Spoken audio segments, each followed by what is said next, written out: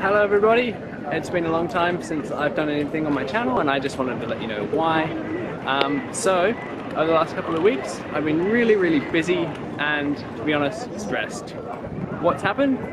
Um, well, I've been traveling in Morocco with my, my brilliant friend Lily and that was fantastic, had a great time. And then I came to the north of Spain to try and find a job.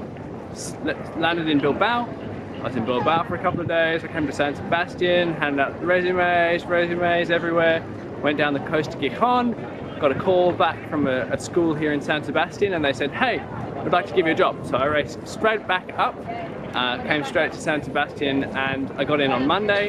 In the last four or five days I've been super stressed, hunting for a room because well there's there's heaps of students that have come into the city back to start with the semester and there's rooms nowhere nowhere. I called probably 30, 40 numbers, didn't get anything back. Eventually I found a place, it's a little bit out the way, but it's nice and it's well connected to my room, well not my room, my, my school, and the school is really nice and supportive. I start on Monday, I move in on Monday, everything's happening really quick.